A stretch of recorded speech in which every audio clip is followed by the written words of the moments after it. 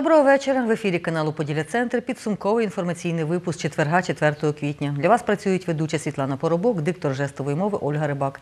Чим запам'ятається нам день, дивіться далі. 12 дітей із підтвердженим діагнозом ротавірусна інфекція перебувають у Хмельницькій міській інфекційній лікарні. 17 діб без газу перебувають мешканці семи квартир на вулиці Кам'янецькій, 67 у Хмельницькому. 22-га всеукраїнська художня фотовиставка авторів із 13 областей України відкрилася у Хмельницькому музеї студії фотомистецтва. Юнацькі флорбольні команди готуються до другого туру чемпіонату області. 12 дітей із підтвердженим діагнозом ротавірусна інфекція перебувають у Хмельницькій міській інфекційній лікарні.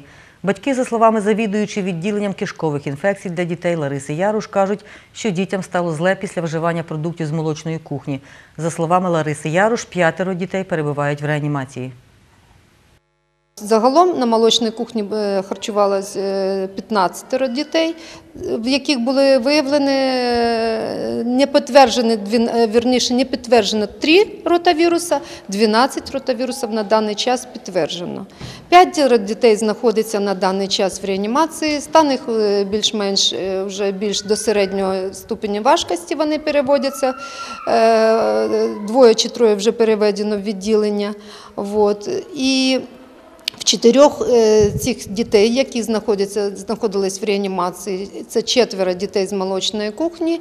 І взагалом з всіх дітей, е, які поступили з ротавірусами, 10 дітей це діти до одного року. В частності е, пройшла така інформація, що це був сирок, і творожна пасточка і кефірчик. Стверджувати, що продукція із Хмельницької молочної кухні стала збудником інфекції, головний лікар Хмельницької міської дитячої лікарні, де саме виготовляють дитяче харчування, Наталія Зимак Закутня не може. Каже, продукцію надіслали на перевірку до обласної Держпродспоживслужби, а обстеження персоналу та дітей проводить лабораторний центр МОЗ України. Остаточних результатів ми очікуємо е, у понеділок. Тому ми можна буде зробити висновок, чи пов'язано це якось із вживанням продукції нашої молочної кухні. Ми очікуємо остаточних результатів, але мусимо сказати, що безпека дітей для нас це головне. Тому е, ми поки е, припинили виготовлення продукції і видачу продукції, і тільки після того, як будуть з'ясовані всі обставини, ми зможемо її відновити. Аналіз відібраних зразків продуктів з молочної кухні триватиме кілька діб. Про це говорить начальник головного управління Держпродспоживслужби в області Василь Грушко. Лариса Ярус каже, лікування інфекції зазвичай триває 7 днів. Кишкова інфекція, сроки перебування взагалом до 7 днів, але тут е, має місце дуже багато чинників, які впливають на перебіг захворювання. І основний, важний – це загальний стан дитини або соматичний стан. Тобто, так по-простому, щоб було понятно, якщо в дитини слабенький шлунково-кишковий тракт ізначально, е, процес лікування може трошки затягнутися. Лариса Ярош додає, у період з 2 до 4 квітня до лікарні потрапило 24 дитини віком до 2 років з кишковою інфекцією. Батьки дітей від коментарів відмовляються. Діти без щеплень не будуть допускатися до навчання. СМС-повідомлення з таким змістом надійшли до батьків Хмельницької школи номер 10 За словами батьків, смски почали надходити після того, як в обласному центрі, виконуючи обов'язки міністра охорони здоров'я України Уляна Супрун, разом із місцевими чиновниками презентувала спецоперацію щодо захисту, населення Хмельниччини від кору. Повідомлення від директора НВК номер 10 Віктора Грищука розсилали батькам. У ньому зазначалося, що з 8 квітня ті учні, батьки яких відмовились від щеплень, не будуть допускатися до школи. Директор школи Віктор Грищук пояснює це так. Я е, в Фейсбуці е, звернувся до класних керівників, щоб вони написали, не написали, а зробили оголошення серед батьків, щоб по можливості більше вакцинувались. Чому? Тому що в нашій школі дуже велика кількість дітей е, захворювань на кір. На сьогоднішній день 12 дітей. От після канікул вийшли, і вже дитина одна захворіла на кір. Директор запевняє, 8 квітня усіх без винятку учнів допустять до навчання. На заборону відвідувати школу немає офіційних документів. Заборони не буде, да. Це такий маленький, як то кажуть, крок, щоб ті батьки, які несвідомо не, просто не хочуть, щоб вони все, все ж таки пройшли цю вакцинацію і спокійно були і батьки, і діти, і ми. До нас в школу приїхали представники медичного закладу, всі працівники, всі привилися, і нічого страшного тут немає. Хмельничанка Наталія Шмурікова щеплень дітям не робить. Вважає їх шкідливими. Каже, краще мати природній імунітет, ніж штучно створений. Я не хочу, щоб мене хтось змушував е, робити щеплення моїм дітям е, примусово. Що стосується здоров'я, слава Богу, обидві мої дитини здорові. Е, Все гаразд, і е, не боюся я того, що вона там дитина моя на кір захворіє чи ще на якусь хворобу, тому що я спокійно до цього ставлюся. Абсолютно, і взагалі впевнена, що все в моїх дітей буде гаразд в плані здоров'я. Нагадаємо, на Хмельниччині 1 квітня оголосили початок спеціальної операції щодо захисту населення від кору, яка діятиме до 26 травня. В її рамках проводитимуть роз'яснювальну роботу з батьками та вакцинуватимуть дітей, каже начальник міського управління охорони здоров'я Борис Ткач. Спецоперація передбачає, е, по-перше, роз'яснювальну і комунікативну роботу, тобто спілкування з батьками, е, вихователями, вчителями. Вакцини придбані за бюджетні державні кошти. В нас їх достатньо на даний час. Ми маємо в місті е, майже три тисячі вакцин, яких достатньо для вакцинації. Недопуск дітей до школи є грубим порушенням їхніх прав і профільних законів, пояснює адвокат Сергій Гула. У закону України про запобігання інфекційним захворюванням чітко передбачений недопуск до дитячих закладів. Тоді як е, школи і дитячі садочки не є дитячими закладами, а освітніми закладами. Тому на сьогодні недопуск нещеплених дітей ну є порушенням цього профільного закону. Також це суперечить Конституції України, зокрема статті 53 про доступність освіти для кожного, додає адвокат. Нікому не може бути обмежено в праві на доступ до освіти.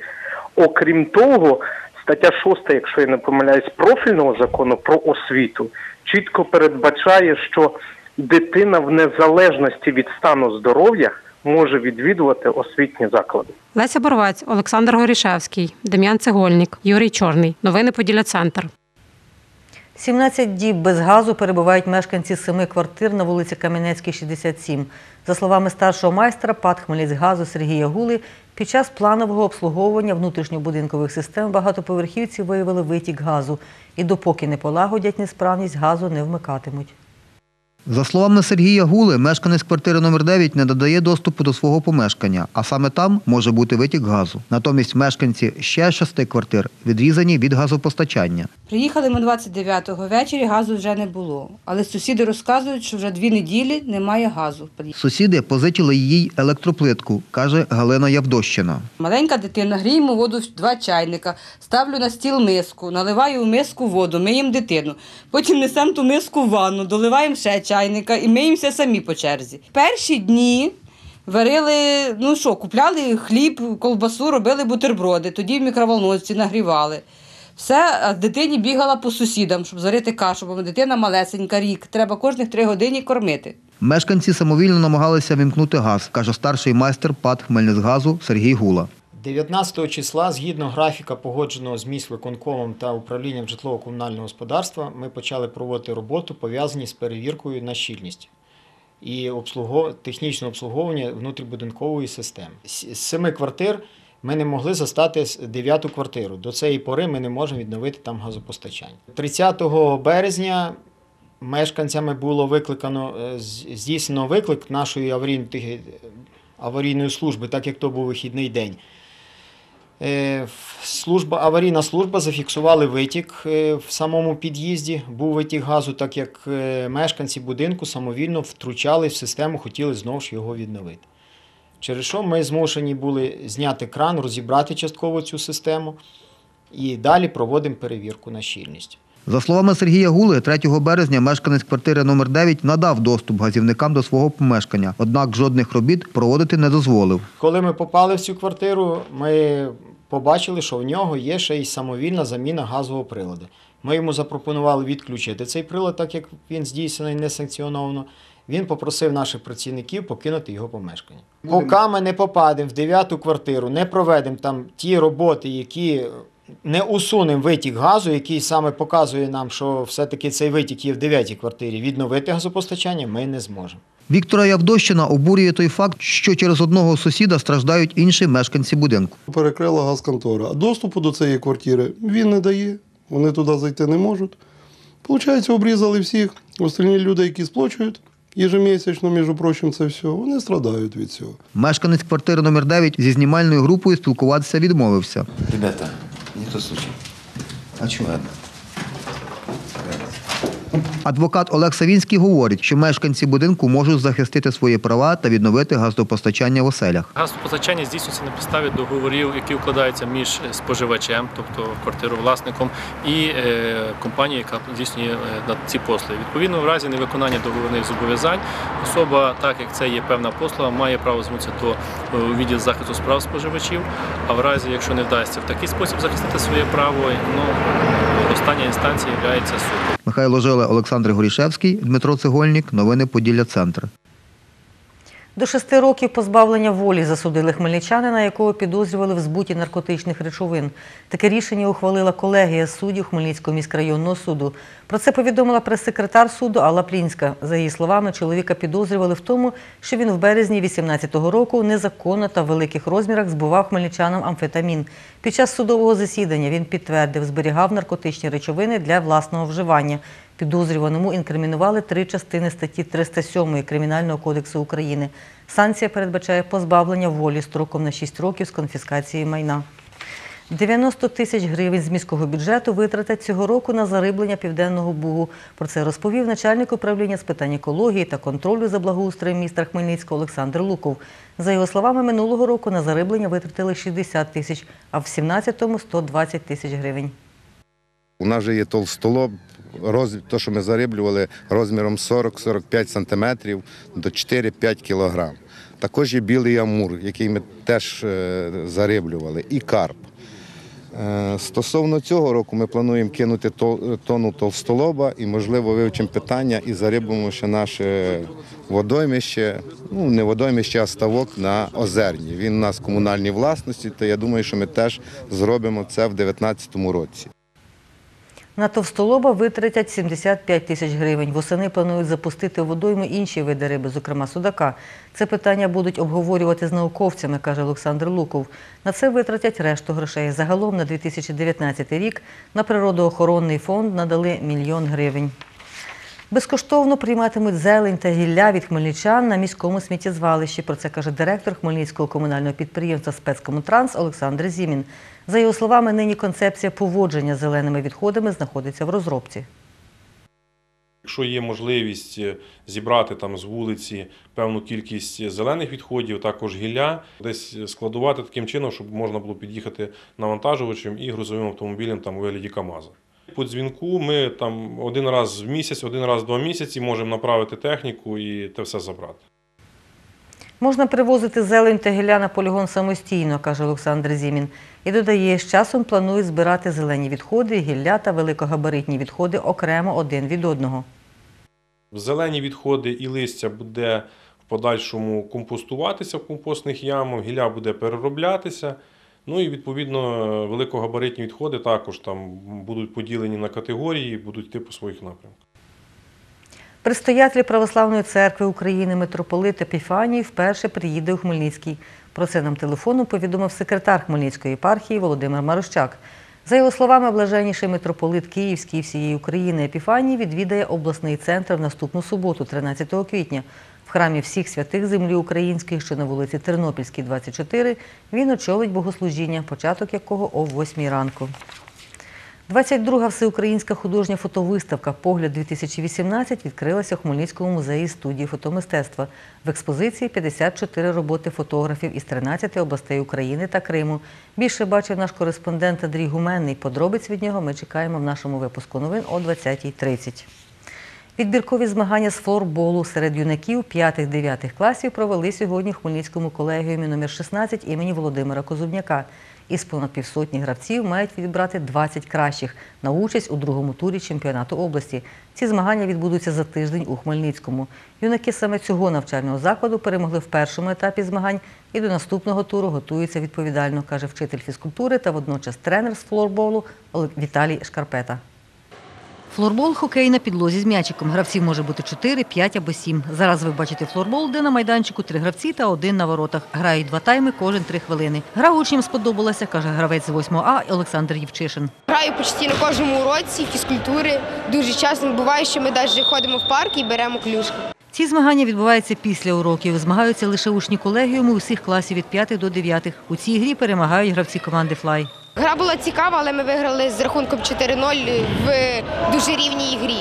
Гравець команди Флай Влад Гавришко в цьому матчі закинув чотири м'ячі в ворота суперників і став найрезультативнішим гравцем зустрічі. Флорболіст каже, вчився грати разом з усіма з вересня минулого року, відколи в колегіумі запровадили цей спортивний модуль. Я не грав ніколи в хокей і е, взяв ключку з флорбола, з флорбола рік назад. А зараз грають десятикласники, які перемогли в першому турі обласного чемпіонату. Гравець Валерій Криворучко каже, найбільше пишається перемогою над командою Дунаєвець, бо та брала участь у всеукраїнських змаганнях та посіла там друге місце. Коли прийшли, ми думали, що ми програємо, тому що вони приїхали всі в формі. Е, приїхали всі, ну було видно, що вони сильніші, ніж ми. А ми тоді ну, грати ну, не дуже вміли, якби. Ну і якось так пішло один гол, другий, третій, 4-0 виграли все. Потім другий матч виграли 9-1. Всі радувались, не могли зрозуміти, як це сталося, але ми виграли і знали, що ми чемпіони. Капітан команди старших класів Ярослава Городнічук каже, представляти своє місто на обласному чемпіонаті почесно, але й відповідально. Як налаштовуватиме команду на гру, вже знає. Це як остання гра, що треба боротися за кожен м'ячик, за кожну позицію. Тобто, так, це важливо. Ярослав каже, раніше займався хокеєм з шайбою, тож у флорбол прийшов підготовлений. Ігри подібні. Вчитель фізкультури Віталій Шкарпета каже, нову гру учні і учениці сприйняли позитивно.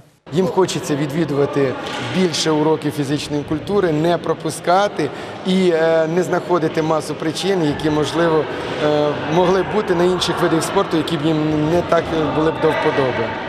Учитель власноруч змайстрував ворота для флорболу та в складі громадської організації неолімпійських видів спорту. Територія спорту, каже, популяризує флорбол.